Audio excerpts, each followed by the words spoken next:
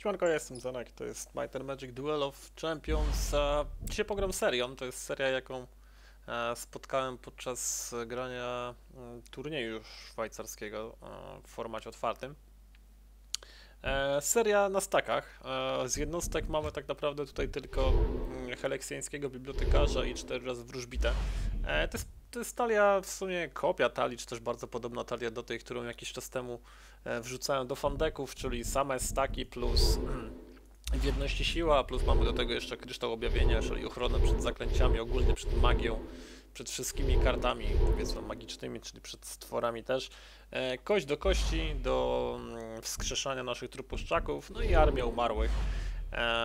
Szczerze mówiąc, to koleś wygrał grając ze mną w turnieju szwajcarskim. Znaczy, znaczy wygrał. No wygrał dlatego, że ten, że po prostu czas mi się skończył, ten pojedynek tak długo trwał. No, nie wiem w sumie co pierwsze wrzucę, czy ten odcinek z tego turnieju szwajcarskiego, bo tam grałem Kalazarem, czy po prostu ten odcinek z tej serii, ale to może jeszcze raz powiem, czy ewentualnie zaspoileruję, w zależności w jakiej kolejności te, te odcinki będą się pojawiały. E, no tamten odcinek, znaczy tamten pojedynek z tą serią przegrałem, ale tak naprawdę na własne życzenie, bo tak wolno grałem, że po prostu czas mi się skończył. E, abym spokojnie z nią wygrał tak naprawdę, bo no, gdybym miał jeszcze jakieś, jakąś minutę jeszcze czasu, czy półtorej minuty, to bym, to już była sytuacja tak, tak naprawdę ogarnięta, w cudzysłowie powiedzmy, na stole, bo koleś wypstrykał się ze wszystkich łutów szczęścia. W sumie najważniejszym, bardzo ważnym łutem szczęścia jest tutaj Asha włada wszystkim. E, Łód szczęścia, który pozwoli nam recyklingować, czyli podnosić inne łuty szczęścia z cmentarza. No koleś użył już to cztery razy, wypstrykał się całkowicie z tych kryształów objawienia, wypstrykał się też e, z kość do kości, a poza tym mu chyba usunąłem Arianom Arianom usunąłem mu armię umarłych, więc tak naprawdę no nie miał już praktycznie nic na tym polu bitwy. Zostało mu tam parę e, żetonów, które bym zabił w następnej turze i pewnie bym wygrał, tylko no, problem taki, że czas mi się skończył i koleś wygrał po prostu na czas i tyle. Okej, jak Natalia wygląda? E, z wydarzeń mamy tak, dwa razy burzę many, cztery razy ścieżkę przodków, dwa razy cyk oko cyklonu many, 8 stworów, 4 razy heleksjański bibliotekarz, 4 razy wróżbita, 0 zaklęć, 42 łuty, 4 razy dziedzictwo, 4 złote sterty złota, 4 razy poprawiona taktyka, 4 razy Asha włada wszystkim, 4 razy ożywienie, 4 razy obozowisko, 3 razy obserwatorium, 4 razy w jedności siła, 2 razy żniwa dusz do leczenia, 4 razy kryształ objawienia do zapewniania, e, zapewnienia naszym żetonom e, magicznej tarczy po prostu, czyli odporności na wszelkiego rodzaju magiczne karty, czyli zaklęcia i stwory. E, kość do kości do wskrzeszania naszych umarlaków e, i armia umarłych do, do rzucania, powiedzmy, do, do, do, do, zagrywania umarlaków, czy też ona nam generuje no, po prostu dwa żetony co turę. E, no i to tyle, to jest 59 karcioszek 2.1.4, format otwarty. Naprawdę, znaczy w sumie nawet nie wiem jak to, jak to do, do jakiego rodzaju to, tą talię zaklasyfikować, czy to jest jakiś taki zwyczajny deck, czy to jest, czy to jest fan deck po prostu z dobrą, z jakimś tam przyzwoitym win ratio, jak na, jak na taki fan deck. Ja myślę, że to jest taki fan deck z dobrą, z dobrą win ratio, szczerze mówiąc. Znaczy, no, to, to jest różnie, bo tak naprawdę jest masa rzeczy, które kontruje tą talię. E, jest, tak naprawdę można ją dość łatwo pokonać. Jeżeli przeciwnik jeszcze no, tak będzie miał kiepskie rozdanie, bo to też dużo zależy od rozdania, jeśli będzie miał kiepskie rozdanie e, i szybko nie dobierze jakichś tam kart, które będą mu tworzyły powiedzmy te żetony, a później zagra w pewnym momencie te w jedności siła, e, no to nie wygra. Poza tym, jeżeli, jeżeli my się będziemy mądrze bronić, Zwłaszcza jeżeli gramy Infernem i jeżeli będziemy mieli na przykład coś takiego jak Czechający w mroku, jak zagramy sobie takiego Czechającego, to koleś nie może nic z tymi swoimi żetonami zrobić. Ja tam dlatego w sumie tak długo przetrwałem z tam jego, bo on w pewnym momencie naprawdę miał sporą przewagę i mógłbym je zabić w ciągu jednej tury.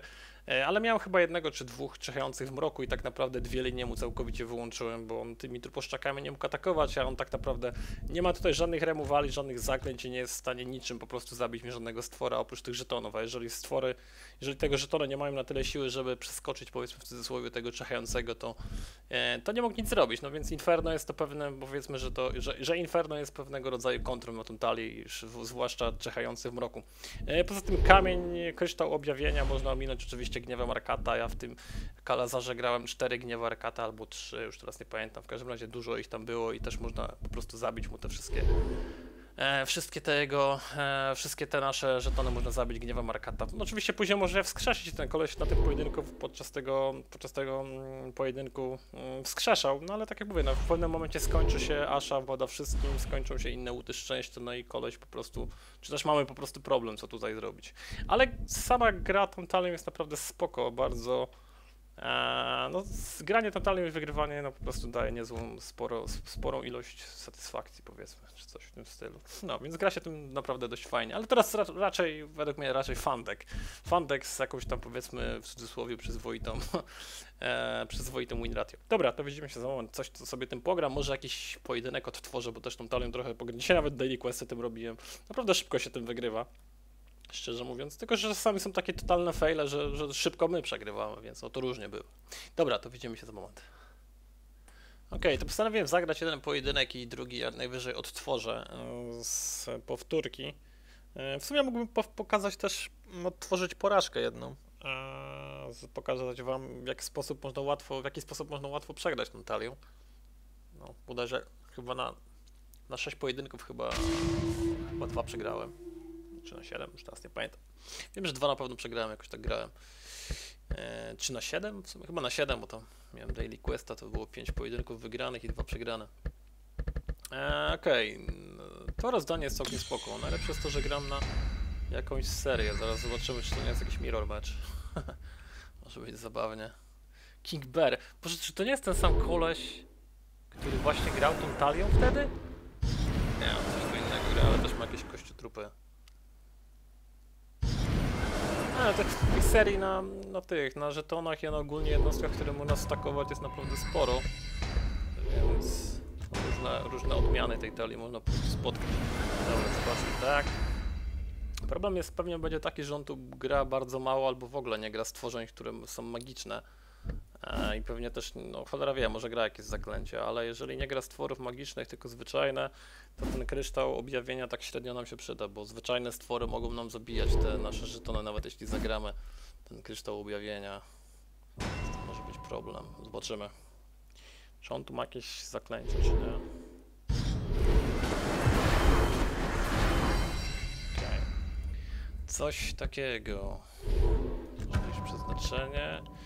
Mogę mieć czwarty surowiec i mogę sobie zafundować no mogę za... No, w sumie najlepsza opcja to chyba albo Haleksjański i coś jeszcze, porena taktyka, albo ta armia umarłych. Armię umarlaków. Zobaczymy tylko co on zrobi. Czy on ma jakiegoś lisza, stratega, coś innego?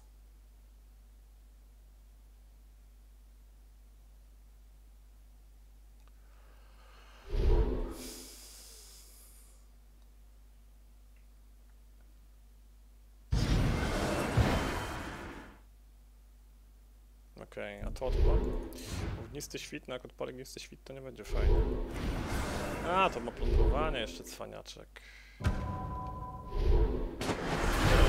Cztery dwa surowce. Nie poszaleję. Najwyżej tego haleksjańskiego tylko zagram. Dobra, nie będzie tak. Dwa surowce, nie ma żadnej sterty złota. Haleksjańskiej chociaż. Czwarta flaga.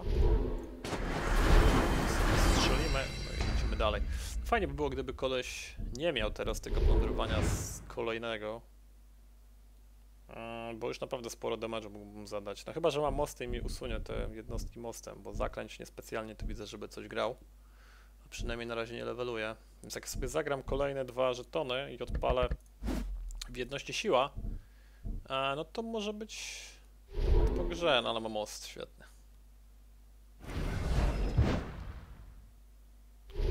Gdyby nie ten most, to mogłoby być po grze w tym momencie.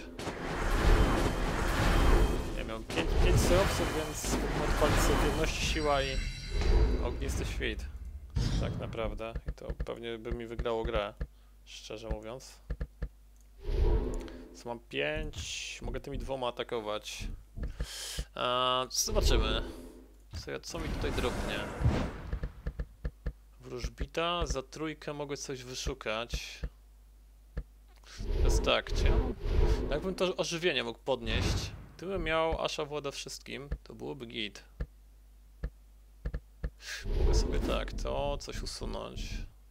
Powiedzmy stertę złota jedną, jedną poprawioną taktykę i jedno dziedzictwo. Coś takiego, to jest 2, 5 surowców. Hmm. Zobaczmy, co z tego wyjdzie. Ile uda mi się wykręcić. tego czegoś. 16, no to jest GG. Tak widać na styk. no dlatego ja lubię tą talią grać, ona jest świetna, naprawdę. Jak nam. No trzeba tylko. Trzeba tylko tak, no. Znaczy sporo zależy może to od szczęścia, o, powiedzmy tak, no bo muszą nam się po prostu odpowiednie karty trafić. Dobra, to zagramy sobie jeszcze jeden pojedynek. Ale tutaj po prostu na styk. Naprawdę. Ale, ale to muszę przyznać, że Winraty jest naprawdę dobry na tej talii, więc tak naprawdę nie wiem, czy to wrzucać do, e, do fandeków, czy po prostu zrobić z tego no, taki zwyczajny top deck, czy taką dobrą talię, bo to naprawdę win ratio jest mega dobre. Tak naprawdę to jest chyba ósma gra, którą grałem i do tej pory chyba przegrałem tylko dwie. Dzisiaj, tak jak mówię, robiłem daily questy, no to tam miałem pięć pojedynków, musiałem wygrać dwa razy na Inferno, miałem dwa razy daily quest. Eee, tak się skąbił, więc no tam chyba dwa, dwa pojedynki przegrałem i pięć z miejsca wygrałem. Znaczy było tak, że chyba cztery pod rząd wygrałem, później dwa przegrałem i później kolejny piąty wygrałem, więc to w sumie razem jest siedem pojedynków. Więc to jest ósmy pojedynek, który wygrałem tą talią. Grając po prostu tak o, od złożenia, nie? Bez żadnych testów, bez niczego, bo tam mniej więcej pamiętałem jak się, pamiętam jak się gra tą talią mniej więcej. Zresztą tutaj nie, nie ma jakichś wielkich tam, kurczę, problemów z rozkminieniem jakiejś tam strategii. E, Chociaż no dla początkujących graczy to może być trudna talia do, do grania. Znaczy na pewno trzeba znać trochę metę i wiedzieć co ten, co przeciwnik może zagrać w następnej turze. Ale w doce jest ten plus, że po prostu są statystyki i po tych statystykach można się coś, czegoś się spodziewać. To nie jest tak jak w Hearthstone, że trzeba zgadywać po prostu i tam tylko zostają nam tylko surowce. Boże, kolejna seria? Świetnie. Okej. Co ja tutaj mam? Hmm. Trochę gorsze rozdanie. Może sobie to wymienię. Okej, mamy to. Dwa razy dziedzictwo. Tak trochę średnio. Smoczy kryształ. Może sobie wyszukać już ten. Wyszukać sobie armię marlaków. Dobra, niech będzie tak. I te jednostki też się o dziwo przydają. Zwłaszcza jeżeli mamy jakieś jednostki walczące wręcz i możemy tego przedstawić tutaj na przykład, a zanim zagrać jakiś żeton po to, żeby osłonić ten żeton po prostu. Eee, no nie ma sterety złota. Nie mam też żadnego stwora na cmentarzu. W sumie mógłbym zagrać tego kaleksjańskiego. Okej, tak, bierze przeznaczenie i następna tura. Będę miał trzy surowce. No to git, to już nawet bez, bez dziedzictwa mogę sobie zagrać, mam obudowisko. Więc mogę sobie zagrać tą o, armią Morlaków. Tak, nie ma lepszej opcji tak naprawdę w tej turze. Sobie to. Za trójkę jeszcze mogę coś zagrać. Sobie można by wyszukać jakiś łód szczęścia nawet. Okej, Mamy obserwatorium. Mm, Tak naprawdę chyba szukam sobie to ożywienie. Bang. Czwarta flaga i lecimy dalej. Ok, więc mam cztery żetony w następnej turze. Dwa z armii umarłych i dwa z ożywienia. Koleś mi tutaj dość mocno ciśnie. Dobra, to jeden tu, drugi tu. Więc tak, tego typka już przeniesiemy chyba tutaj. A ile on tu ma damage'u? 5, 6. Może mieć więcej. W sumie mam dwa razy kość do kości. Można by to zrobić tak, poświęcić tych dwóch, tego tu, tego tu. On mi ich zabije, a ja ich sobie wskrzeszę. W sumie tego też wskrzeszę, więc będzie sporo tych. E, no może być nieźle, tak naprawdę. Ile będę miał? 5 surowców. Mm, tylko, że mi nie starczy. Będę to 4 kosztuje, muszę mieć 7 co najmniej. Dobra, to może tak. I tak. Okej, coś takiego. Albo dobrać kartę, albo poprawiona taktyka. W sumie nie ma sensu mu dobierać kartę, sobie dobiorę kartę, tylko jeszcze mogę zagrać poprawioną taktykę w sumie. Dobra, nie będzie taktyka. Usuniemy sobie stertę. Nie wiem, poprawioną jedną można usunąć. A, dziedzictwo jeszcze mam jedno. Usunąć jedno dziedzictwo. W sumie to tego typka też można jednego usunąć. Może nawet dwóch. Zostałem poprawioną taktykę. Kolejny, okej. No to jest trochę rozkminiania przy tej talii, więc nie wiem, czy ona się tak specjalnie nadaje na turnieje szwajcarskie. No ale temu kolesiowi udało się wygrać, tak naprawdę to ja rozkminiałem dłużej niż on, ale pewnie dlatego, że nagrywałem odcinek i po prostu gadałem, gadałem i się nie mogłem skupić i tak jakbym nie nagrywał, to, to troszkę szybciej bym to szło mi to zagrywanie tych jednostek Lazara. Okej, tu mamy dwa. Tu i tu zginęło, tu sobie możemy zagrać, jest pięć. Jest ożywienie, ale jest ożywienie, okej. Wow, to może być dobre, mam trzy jednostki. To może tak, zagramy sobie tu i tu gentlemana. Odpalimy sobie w jedności siła 7, ok. Tego tylko można porobić. Tego też. A, 7 damage'u. W sumie mogę mieć 3 jeszcze. Hmm. Ciekawe. Ile ja to wykręcę? Czy on będzie miał 14? On będzie miał chyba 14 ataku, jakbym odpalił dziedzictwo i odpalił e, kolejne w jedności siła. Tylko, że nie mam żadnego, nie mam kolejnej tej karty, ani nie mam żadnego e, łutu szczęścia, który by mi podniósł to z cmentarza. Więc nie wiem, czy to jest dobra opcja. Chociaż on mi może dźwięknąć zaklęciem zaraz. W sumie może nie będę się czaił, to, zagram. 13. No, jeszcze jedna JTK by wyszło. Okej. Dobra, no teraz mi trochę pozabija tych stworzeń. Pytanie, czy ma zaklęcie jakieś? Jeszcze nie wiadomo. A chyba nie ma.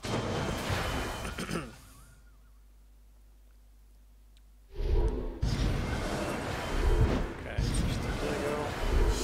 No i teraz mam problem, bo jak nie dostanę czegoś, co by mi wskrzesiło, to jest... E... Może dobrze to zagrywam? E, co ja mogę wskrzesić tu i tu? Poprawiona taktyka, no nic. Dobierzemy sobie kartę, zaraz. Czy ja mogę atakować? No jakbym dostał w jedności siła, to byłoby git. Dobra, mam Asha. To jest git. To kosztuje 1, to jest 3. Brakuje mi surowca jednego, żeby zagrać to ożywienie i tak naprawdę i tak jest chyba po grze. Dobra, tak, wolimy poprawioną, zagramy sobie to. Jest 4, 6, no to jest po grze. Tak jak widać, ta talia jest mega. Eee, no nie wiem, to, to, to znaczy mega dobra. No ja nie wiem, nazwałem to fantekiem, ale to naprawdę jest tak wysokie win ratio na tej talii, że no nie wiem, nie, nie wiem szczerze mówiąc, do, do czego ją klasyfikować tak naprawdę. To jest fandek? Tak, dla mnie to jest takie, takie jajca, tu tą talią można odstawiać, że to jest po prostu czysty fandek, ale win ratio jest tak zajebiste. Eee, no nie wiem, mam jeszcze kilka ciekawych powtórek z tych gierek, które tam poprzednio rozgrywałem. Fajnie, fajnie rozwaliłem tego Hakima przewijarkę, który tam już koleś mi przewinął wszystko prawie, a i tak mi się udało go rozwalić. Mogę pokazać, tylko że ten pojedynek trwa dość długo, chyba 10 minut, bo on tam na początku się dość mocno walluje, tarcza zagrywa, trony, wszystko mi wywala i praktycznie mi przewija całą talię, a mi na szczęście coś tam zostaje grywalnego pod koniec i udaje się go pokonać, taki spoiler. Więc nie, nie wiem, czy to ma sens ma, czy, jest sens pokazywać na talię, ten, ten pojedynek. No dobra, pokażę, bo to na, nawet jest fajne. W sumie mogę pokazać też jakąś, jakąś porażkę, bo e, zobaczycie, jak tą talią też można łatwo przegrać. Więc pokażę tam jeden pojedynek chyba z tym Hakimem i drugą jakąś tam porażkę wybiorę, bo ta porażka była dość szybka, więc to nie będzie jakieś długie. Okej, to widzimy się za moment. A, pokażę wam najpierw pojedynek z Garantem, e, który trwa 2 minuty, znaczy 3 minuty trwa, więc mega szybko. Okej. Sterta. Mm, mogę użyć sterty i zagrać sobie Heleksjańskiego, w następnej turze walnąć ożywienie. Nie jest zła opcja nawet. Co ten koleś tu w ogóle grał? Jakiś kosmos. Dosłownie wszystko. No tak, oni. Okej. A więc tak, za dwójkę ożywienie, bach, bach, tu i tu pewnie. No i tego sobie przestawię tutaj, okej. Już Nie wiem, w sumie, czy to było takie dobre. On, znaczy most jeszcze by nie użył. Nie no, w sumie mógł użyć mostu. Okej, tego typka. Teraz tak, to można by przenieść, no nie wiem, tutaj. Albo tutaj, tego przestawić tutaj. Ożywić coś tu i tu, właśnie. Strzał za jeden. No mam dwa razy, dwa razy większa siła. Zobaczymy co się wydarzy. Już nie pamiętam dokładnie jak to, co to się wydarzyło. A to jest chyba jakiś garant na bramach, tak mi się wydaje. Nie wiem, nie jestem do końca przekonany. Ale jakieś kokszury tutaj kolej gra. A, no tak, to, to teraz tak średnio trochę jest. Mogę odpalić to w jedności siła. Ile to będzie damage'u? No w sumie będzie dość sporo nawet damage'u. Tego jest 6. No wiem, może trzeba było... Aha, bo jest, dobra, jest ten... E, dziedzictwo, więc jest naprawdę nieźle. Dobra, to ginie, to ginie, nice. Zapomniałem całkiem dziedzictwie. No, więc taki łomot w jednej turze, powiedzmy ile tam było, 15 damage'u jakieś? Czy 10 damage'u? Tu i tu chyba siadł, tak. Nie przeglądałem jakoś. Coś tam Kolo pozagrywał. No to jest GG praktycznie, mam kolejne, kolejne w jedności siła i jeszcze mam Asha woda wszystkim. Więc to nawet no nie ma co się zastanawiać po zawodach.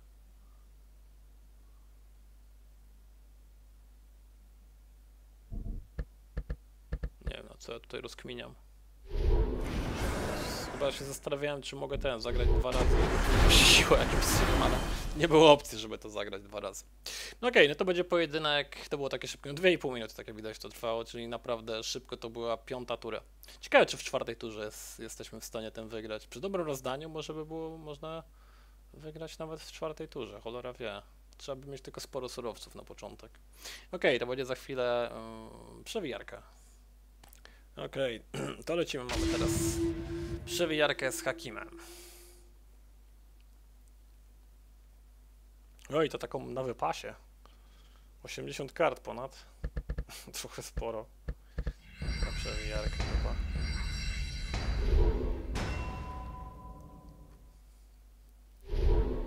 A z porażek to miałem dwie.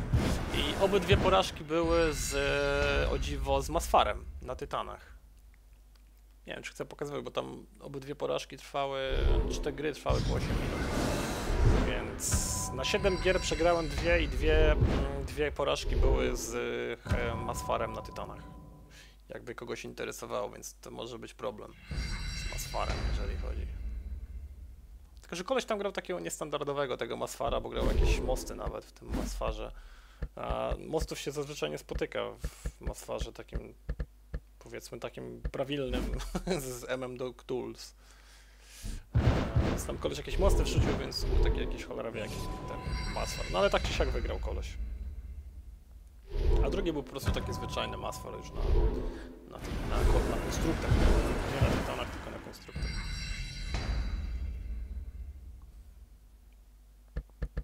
No, co on tu ma? Trony.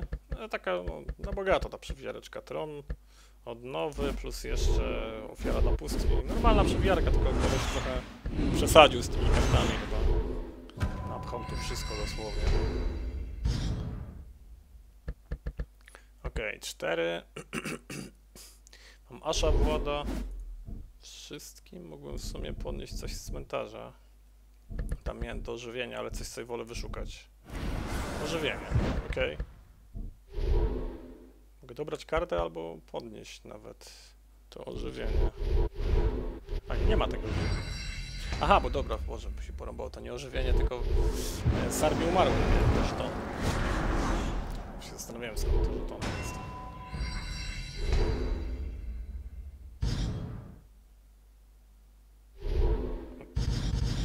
Okej, okay, coś takiego. Nice, trochę się ich pojawiło. Poprawiona taktyka. No i tutaj trzeba będzie używać tego kryształu. Ten kryształ oświecenia się a, no przyda. Koleś ma roje insektów i tak dalej. To problem jest tylko z tronem. Tron po prostu wywala wszystko. Nic nie pomoże.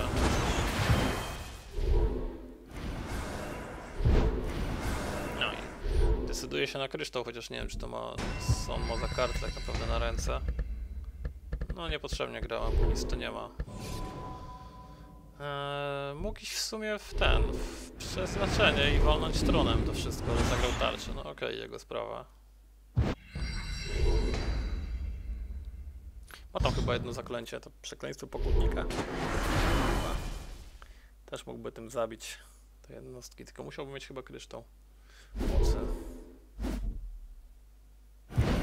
To ja sobie teraz będę podnosił cały czas, cały czas z cmentarza ten, ten kryształ, bo oczywiście cały czas, cały czas się obawiam tego, że ma jakieś zaklęcia. Ma to przekleństwo pokutnika. Tylko nie wiem, czy on by był w stanie zabić samym tym zaklęciem te żetony. Chyba nie. Bo on zdaje połowę. połowę damage'u. Znaczy, zadaje tyle, ile połowę zdrowia. No, usuwa, powiedzmy tak. Więc. A jak ma jeden, to tak naprawdę zero by zadało chyba tym wszystkim żetonom, jeżeli taki żeton ma jeden zdrowia. Nie zabił, musiałby mieć chyba kryształ mocy, żeby tak naprawdę coś z tym zrobić. A trzęsienie teraz, co ekstra.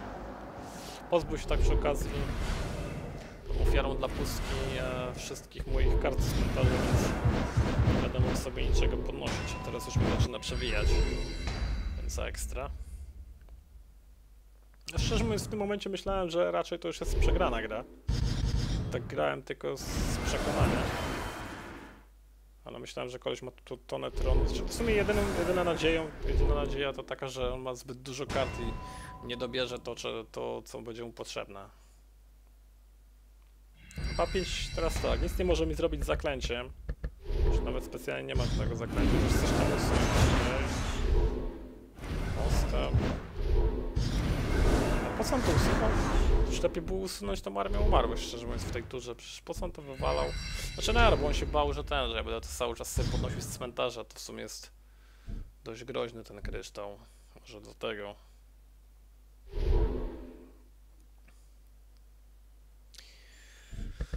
Okej, okay, kolejne ożywienie. Coś można zdesantować. No w sumie mam jeszcze dwa. Kolejny kryształ.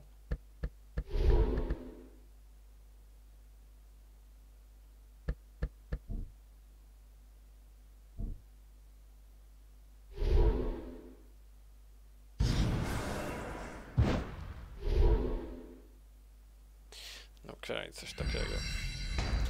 Tu ma tak, tu ma magicznego stwora, tu ma magicznego stwora, więc nic by, nic by mi nie zrobił. No, mogłem też odpalić 15 siła i mu tam coś tu pozabijać.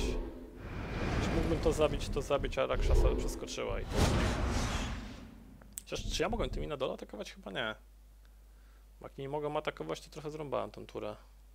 Nie, przyjrza, nie przyjrzałem się, co tutaj zrobiłem dokładnie. Okay, no to on mi teraz zapodał Kamienną tarczę, jeszcze cały czas ma tron na ręce.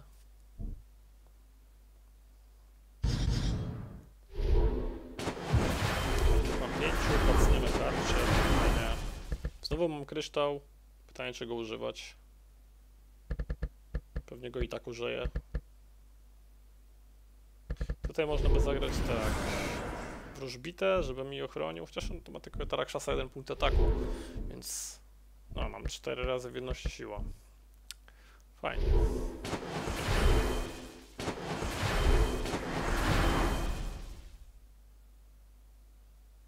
No i Rakshasa lepiej nie atakować, bo ona spadnie na dół. Będzie w stanie zabić mnie tego trupa. Teraz tak, czy on ma tron? Nie, już nie ma tronu. Musimy jeszcze. No, ale ma ten, utaszcieni, więc na pewno zagrał utaszcieni. Rakshasa sobie pacnie.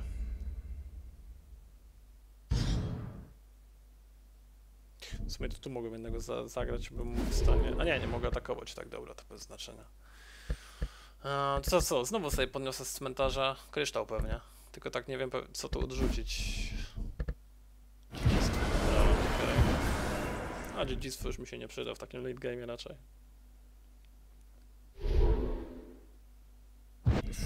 Ze świętowania mogłem coś dobrać, ale chciałem, szczerze mówiąc. Tak, mam sporo kart. To czy mam wszystkie karty, które potrzebuję, po co mam dobierać karty? Ma jakieś zaklęcie, ma jakiś tron, no cholera mam magiczny układ. Wali mi to... Co on teraz może zrobić? Coś może zrobić? Stwory pozagrywać tylko, się zablokować. Całkowicie. Chociaż no ma kryształ mocy i ma co? Ma w sam raz, ile ma surowców? Nie, 8. Nie, 7. No to może to zagrać i by zabił mnie. A nie, nie zabiłby mi, sorry, bo ten. jest kryształ objawienia, może zapomniałem całkiem o.